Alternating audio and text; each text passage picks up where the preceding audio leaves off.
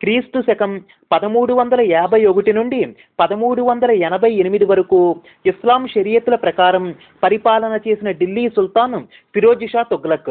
అబ్బాసిడ్ ఖలీఫాచే రెండుసార్లు ఆమోద పత్రం పొందిన సుల్తాన్ ఫిరోజ్ షా తుగ్లక్.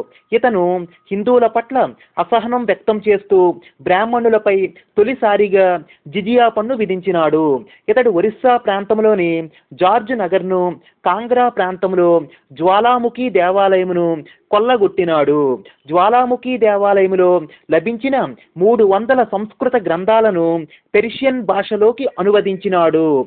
ఫిరోజ్ షా తుగ్లక్ దీనికే దలై ఐ ఫిరోజ్ షాహీ అని పేరు పెట్టినాడు. ఇతని సమయంలోనే రాగి దర్పణం అను సంగీత గ్రంథము పెర్షియా భాషలోకి అనువదింపబడినది. ఇతడు నీటి పారుదల సౌకర్యాలు కల్పించి వ్యవసాయ అభివృద్ధికి తోడ్పడినాడు. ఫిరోజ్ షా తుగ్లక్ పన్నెండు వందల ఉద్యానవనాలు నిర్మించినాడు. అందువల్లనే ఫిరోజ్ షా తుగ్లక్ను ఉద్యానవనాల చక్రవర్తి అని పిలిచారు.